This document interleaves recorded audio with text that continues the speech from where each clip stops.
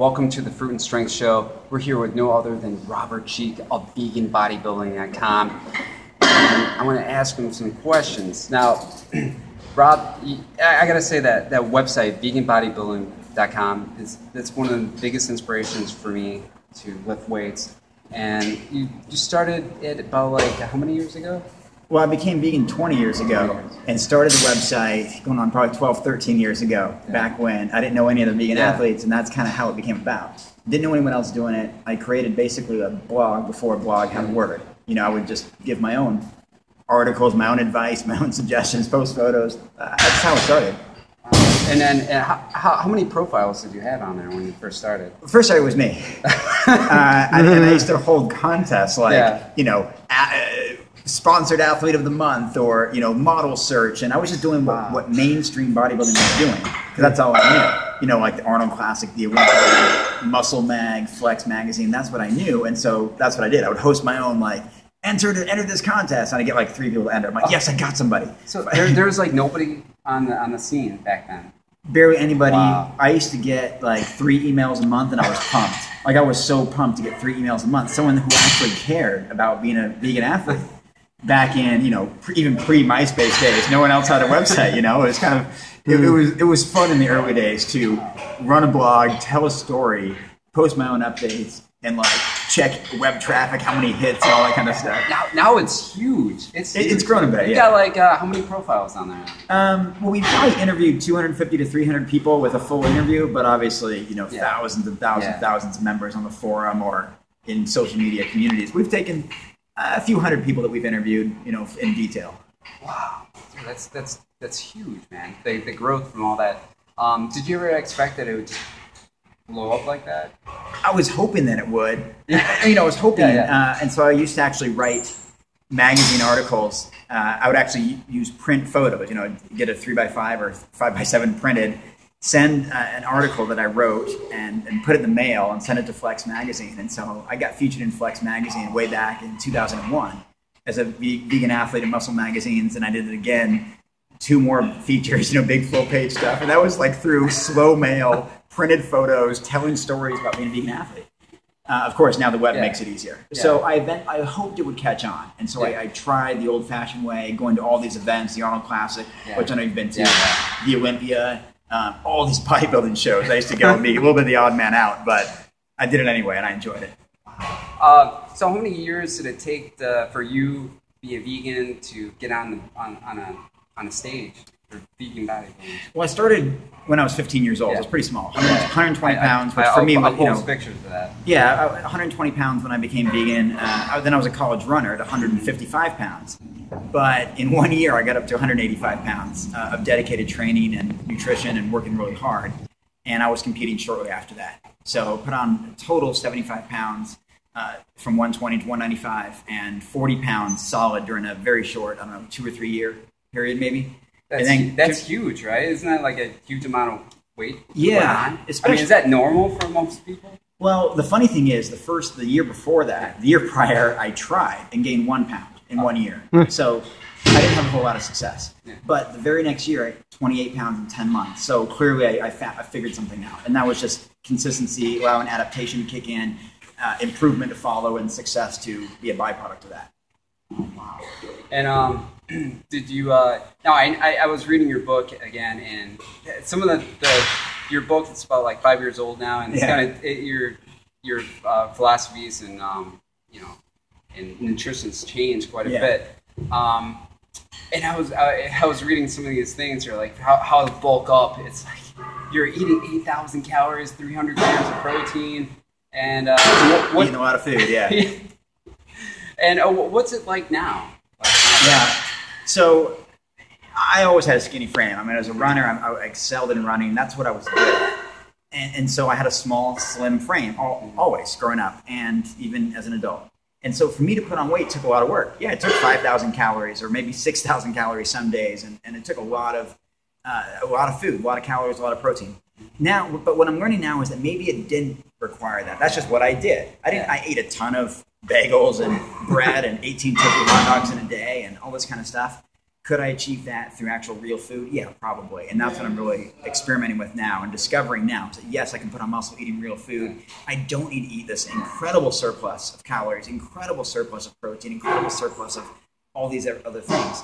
I can just eat real high quality net gain food and you know benefit from that. Do you, do you feel better with that? Yeah, I mean, before I used to stuff myself. I mean, really, I'd be on like my seventh, my seventh bar of the night at midnight, just trying to get it down. So I needed to hit 310 grams of protein that day, or or 5,000. I just surpassed 5,000 calories, or so I thought. That's the thing. I thought I needed that. As it turns out, I probably did. And did you feel sluggish eating all that calories? All oh, that? sure. Yeah, a lot of bread and a lot of pasta and a lot of peanut butter and all that. Sure.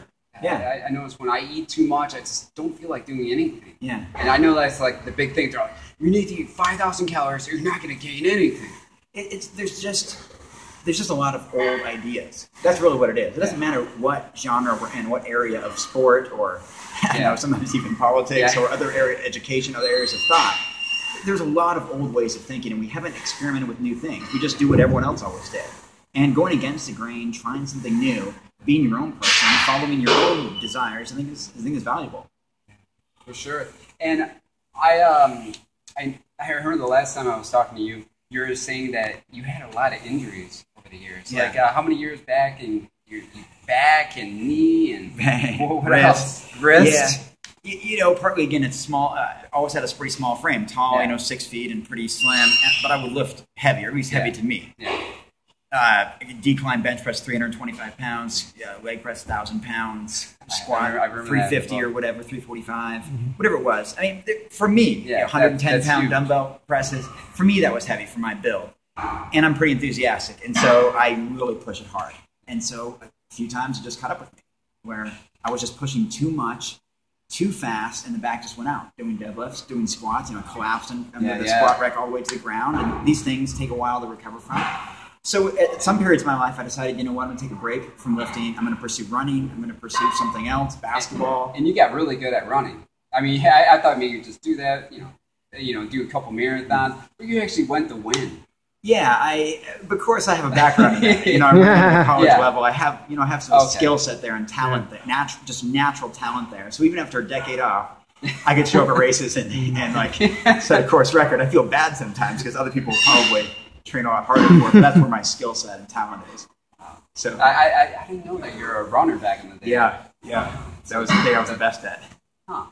And um, I was wondering, is there any like supplements that over the years, and you've been doing this 20 years, um, what is one thing that you think is kind of mind blowing, or you think it might work, or anything? Anything that catches your eye? Yeah, whole food and water. Oh, okay. really, that's you know, I mean, you can use supplements, you can use different things um, pre-workout, post-workout, recovery, whatever you want. And some people do benefit from some, especially if it helps clean up their diet from moving right. from an animal-based supplement to a plant-based supplement and cleaner products, or if they ate junk food before and now they're replacing this burger or sandwich or whatever with a, a little shake or a pretty healthy bar made of nuts and yeah, seeds. Yeah. And deal. But I think the idea is that we can get what we need from real food, and that should be the emphasis. You eat fruits, vegetables, nuts, grains, seeds, legumes. Drink a lot of water. Whatever you enjoy that's plant-based whole food uh, avoid processed foods. You don't need supplements aside from vitamin B12 uh, and vitamin D in some cases, depending on the weather uh, climate.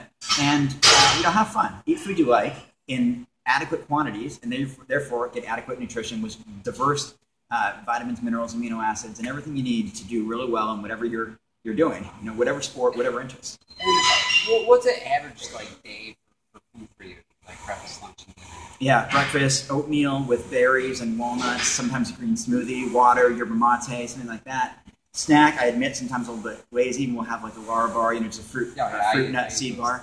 Um, good compact calories, yeah. but most of it's bananas and other yeah. fruits. You know, sometimes I have as many as 19 different fruits at home.